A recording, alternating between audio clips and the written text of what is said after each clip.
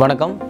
நான் Vairavanathan Genesis sports foundation பயிற்சியாளர் IWF level one coach and Coimbatore Nehru stadium பார்த்தீங்கன்னா state and national அத்லெட்ஸ்க்கு athletic training கொடுத்துட்ருக்கேன்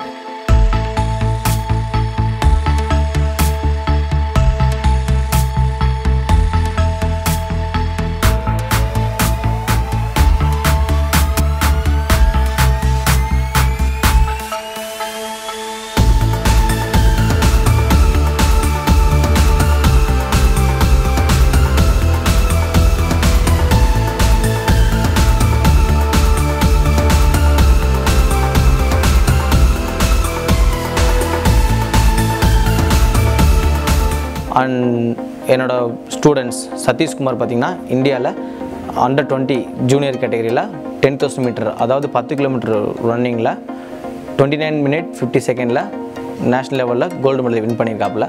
so வந்து எனக்கு தெரிஞ்ச ரன் பற்றின அனுபவத்தை உங்கள்கிட்ட நான் ஷேர் பண்ண போகிறேன்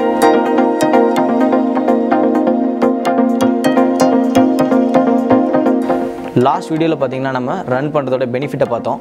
ஸோ வந்து இன்றைக்கி பார்க்க போகிற வீடியோ என்னென்னா ரன் பண்ணுறதுக்கு ஒருத்தர் முடிவு எடுத்தாச்சுன்னா அப்போ நான் எப்படி நான் ப்ரிப்பேர் ஆகணுன்ற கேள்விகள் கண்டிப்பாக இருக்கும். ஸோ வந்து எந்த மாதிரி ஷூ போடுறது எப்போ ரன் பண்ணுறது எந்த மாதிரி ட்ரெஸ் சூஸ் பண்ணுறதுன்ற மாதிரி கேள்விகள் கண்டிப்பாக எல்லாருக்குமே இது இருக்கும் ஸோ அதுக்கான ஒரு சிம்பிளான ஐடியாஸ் தான் நான் கொடுக்க போகிறேன் ஸோ பார்க்கலாம்.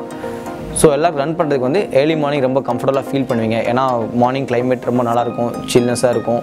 அண்ட் வந்து நல்லா ரெஸ்ட் பண்ணி வந்திருப்பீங்க. ஒரு ஃப்ரெஷ்ஷாக வந்து எழுந்துச்சு ரன் பண்ணும்போது um, ஈஸியாக உங்களுக்கு ரன் பண்ணுறதுக்கு கம்ஃபர்டபுளாக இருக்கும். ஸோ ரன் பண்ணுறதுக்கு தேவையான ட்ரெஸ் கோட் எந்த மாதிரி இருக்குன்னு பார்த்தீங்கன்னா dry fit material jersey cloth material நீங்கள் சூஸ் பண்ணிங்கன்னா உங்களுக்கு ரன் பண்ணுறதுக்கு ரொம்ப கம்ஃபர்டபுளாக இருக்கும்.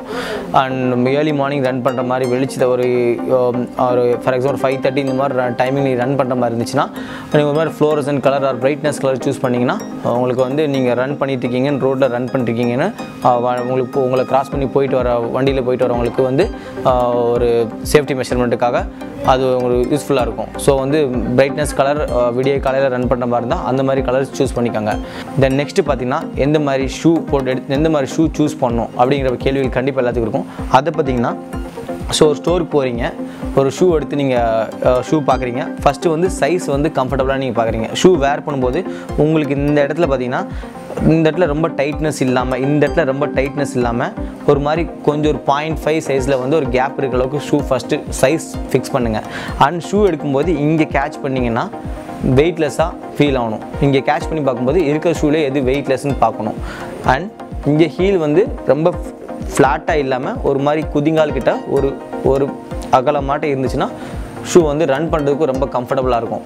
அண்ட் பார்த்தீங்கன்னா இந்த இடத்துல ப்ரீத்தபிலிட்டி இந்த இடத்துல டாட் டாட்டாக இருக்கிற மாதிரி இருந்துச்சுன்னா உங்களுக்கு வந்து வென்டிலேஷனுக்கு ரொம்ப வந்து யூஸ்ஃபுல்லாக இருக்கும். ஸோ வந்து ஷூ சூஸ் பண்ணுற விஷயத்தில் இந்த மாதிரி வந்து வெயிட் கம்மியாகவும் அண்ட் இந்த இடத்துல ரொம்ப லீனாக இல்லாமல் கொஞ்சம் அகலமாகவும் இங்கே வந்து ரொம்ப டைட்னஸ் இல்லாமல் கொஞ்சம் ஒரு பாயிண்ட் ஃபைவ் சைஸ் ஃப்ரீயாக இருக்க மாதிரியும் ஷூ சூஸ் பண்ணும். ஸோ வந்து ட்ரெஸ்ஸை பார்த்தாச்சு ஷூ பார்த்தாச்சு. அண்ட் நான் கிரவுண்டுக்கு போகிறேன் ஆர் ரோடு ரன் ரன் பண்ண போகிறேன் ஸோ வந்து கையில் எப்பவுமே water bottle and wiping towel எடுத்துகிட்டு போங்க. ரன் பண்ணி முடிச்சுட்டு வந்து கண்டிப்பாக வந்து உங்களுக்கு ஒரு மாதிரி வாட்டர் தேவைப்படும். ஸோ வந்து வாட்டர் வாட்டர் எடுத்துகிட்டு போகிறது ரொம்ப யூஸ்ஃபுல்லாக இருக்கும். அண்ட் டவல் எதுக்கு பார்த்தீங்கன்னா உங்களை வந்து வைப் பண்ணிக்கிறதுக்கு ரொம்ப வந்து யூஸ்ஃபுல்லாக இருக்கும். தலையெல்லாம் ரொம்ப ஸ்வெட்டாக இருந்துச்சுன்னா தொடச்சி கம்ஃபர்டபுளாக ப்ரிப்பேர் ஆகிக்கலாம் நீங்கள் ஸோ வந்து வாட்டர் அண்ட் வைப்பிங் டவல் கிரவுண்டுக்கு போகும்போது ப்ரிப்பேர் எடுத்துகிட்டு போயிருங்க. ஸோ வந்து இன்றைக்கி ரன் பண்ண போகிறேன் எப்படி நான் ஸ்டார்ட் பண்ணுறது ரன் பண்ணுறதுக்கு நான் ஸ்டார்ட் பண்ணுறேன் ஸோ வந்து எப்படி ஆரம்பிக்கலாம்? இன்றைக்கி வந்து டே ஒன் நான் ஆரம்பிக்கிறேன். அப்படின்னா சில பேர் கேள்விகள் இருக்கும் எவ்வளோ ரன் பண்ணலான்னு ஹியூமன் நார்மலாக வந்து நம்ம த்ரீ கிலோமீட்டர் ஈஸியாகவே நம்ம பண்ணலாம். மூணு கிலோமீட்டர் நடக்கிறது ஓடுறதுங்கிறது ரொம்ப சிம்பிளாக பண்ணலாம். ஃபைவ் கிலோமீட்டர் ரன் பண்ணிங்களா சூப்பர் ஸோ வந்து நீங்கள் ஸ்டார்ட் வித் த்ரீ கிலோமீட்டர் நீங்கள் ரன் பண்ணி தான் வந்து உங்கள் டே ஒன் ஆரம்பிக்கணும்னு அவசியம் இல்லை. வாக்கிங் ஜாகிங் மிக்ஸ் பண்ணி கூட நீங்கள் வந்து டே ஒன் நீங்கள் ஸ்டார்ட் பண்ணுங்கள் ஸோ வந்து ஸ்டார்ட் பண்ணும்போது எனக்கு ஒரு மாதிரி அப்டமன் கேட்ச் ஆகுது. ஒரு மாதிரி மூச்சு வரல சிரமம் இருக்குன்னா நீங்கள் ரன் பண்ணுற பேஸை ரொம்ப ஸ்லோ பண்ணிக்கோங்க. ஆர் வாக் பண்ணிக்கோங்க. நல்லா மைண்டில் வச்சுக்கோங்க. நீங்கள் ரன் பண்ணும்போது ஸ்பீடாக தான் ஒன்றும் அவசியம் இல்லை. ஸ்லோ ஜாக் பண்ணுங்கள் ஃபஸ்ட்டு எப்போவுமே வந்து ரன் பண்ணுறதுக்கு கம்ஃபர்டபுளாக ரன் பண்ணுறீங்களான்னு மட்டும் மைண்ட் கம்ஃபர்டபுளாக ரன் பண்ணணும். ஸோ வந்து கம்ஃபர்டபுளாக ரன் பண்ணுற மைண்ட் செட்டில் மட்டும் ரன் பண்ணுங்கள் ரொம்ப மூச்சு இறக்க பிறக்கிற மாதிரி ஒன்றும் அவசியமே கிடையாது. அண்ட் முக்கியமாக நிறைய பேருக்கு ஒரு கேள்வி இருக்கும். நான் ரன் பண்ணுறேன் மவுத் ஓப்பன் பண்ணிட்டு ரன் பண்ணுறதா இல்லை மவுத் க்ளோஸ் பண்ணிட்டு ரன் பண்ணுறதான்னு ஜஸ்ட் நீங்கள் எப்பவுமே always open your mouth just open your mouth and run mouth ஓப்பனில் இருந்தால் தான் உங்களுக்கு ரன் பண்ணுறதுக்கு ரொம்ப கம்ஃபர்டபுளாக இருக்கும். ஸோ வந்து சிம்பிள் ரன் பண்ணுறதுக்கு ஃபஸ்ட்டு டே ஒன் ப்ரிப்பேர் பண்ணோடு த்ரீ கிலோமீட்டர் பிளான் பண்ணி போகிறீங்களா கம்ப்ளீட்டாக ரன் பண்ணி தான் முடிக்கணும்னு இல்லை ஜாக் பண்ணி தான் முடிக்கணும்னு இல்லை. உங்களால் முடியலையா? இன்பிட்வீன் நீங்கள் வாக் பண்ணிக்கலாம் பிரேக் வேணால் பிரேக் எடுத்துக்கலாம். ஸோ வந்து அப்படி ஸ்டார்ட் பண்ணுங்கள் and mouth open just open your mouth and run okay then வந்துட்டு ரன் பண்ணுறீங்க ரோட்டில் ரன் பண்ணுற மாதிரி தான். எப்பவுமே keep left side left side run பண்ணுங்கள் அண்ட் முக்கியமான விஷயம் ரன் பண்ணும்போது வந்து இந்த ஹெட்செட் போட்டு மோட்டிவேஷனுக்காக ஹெட்செட் போட்டு நிறைய பேர் ரன் பண்ணுறதை நம்ம பார்த்துருப்போம். ஸோ அதை கொஞ்சம் அவாய்ட் பண்ணிங்கன்னா ரொம்ப நல்லாயிருக்கும். ஏன்னா ஹெட்செட் போட்டு ஓடுறதுனால உங்கள் பின்னாடி ஏதாவது பைக்ஸ் கார்ஸ் வர மாதிரி இருந்தால் அது உங்களுக்கு தெரியாமலே போயிடும். ஸோ வந்து அந்த மாதிரி வந்து நீங்கள் ஹெட்செட் அவாய்ட் பண்ணி ஓடுறது ரொம்ப நல்லது.